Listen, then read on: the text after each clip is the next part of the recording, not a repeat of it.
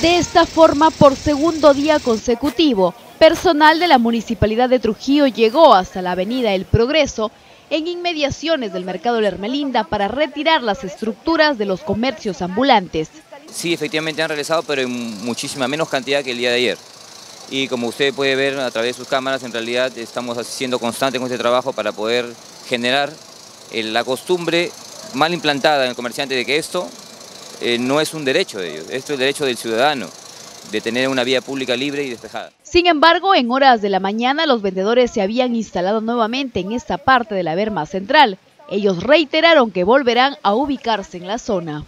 Llevarán a otro sitio, sí, ¿por qué no? Pero que nos lleven ahorita nos votan, pero a ningún sitio nos ofrecen que nos van a llevar. Nosotros barremos, en la noche lo dejamos todo limpio, todo limpio, tenemos que pagar para que lo lleven a otro sitio. Que ayer después que ustedes se han ido, los han quitado todo por abajo. Han esperado que todas las cámaras se vayan para que hagan su...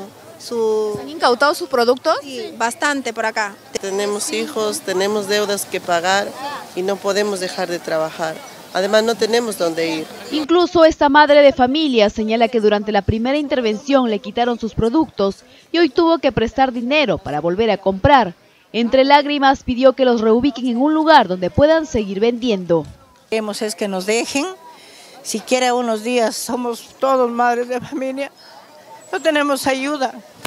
Y yo tengo a mi hijo que estudia en la universidad y yo me mantengo con dos sacos, un saco de zanahoria.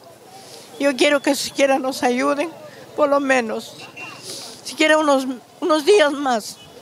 Algunos compradores pidieron que la intervención se haga, pero de tal manera que nadie se vea afectado. Que le reubiquen en otro lado, porque usted sabe que de eso se, también se mantiene la, nos mantenemos prácticamente, porque si no hubieran ellos tampoco nosotros haríamos un mercado. Por supuesto, si están en otro lugar donde ellos estén más cómodos, que tengan mejores servicios, tanto para ellos como para uno, pues sería maravilloso, ¿no? Cinco patrulleros llegaron al lugar para resguardar la zona y hacer cumplir la orden de la comuna de Trujillo. Desgraciadamente nuestra función es esa y estaremos todos los días acá hasta que ellos puedan cumplir. La idea es que ellos entiendan que es por su bien y no es por bien de nosotros.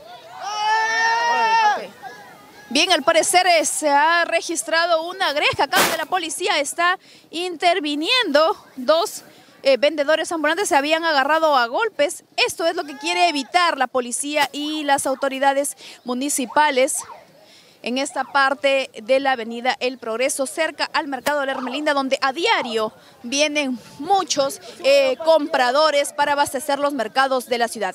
Esta es entonces la situación el día de hoy tras una orden de desalojo del día eh, miércoles y que los comerciantes han retornado. En tanto, informaron además que cerca de 80 establecimientos comerciales que no tienen licencia de funcionamiento ocupan el área pública. Este es el segundo día de trabajo. El equipo de licencias ha logrado infraccionar a 12 locales eh, de los cuales venían trabajando sin licencia de funcionamiento y otros venían ocupando la, la vía pública. Erradicar por completo la informalidad en la zona, buscan las autoridades, teniendo en cuenta además que la presencia de roedores e insectos abundan en el lugar, lo que pone en riesgo la salud pública. Las estructuras de madera y costales amarrados a los postes de luz también son una bomba de tiempo.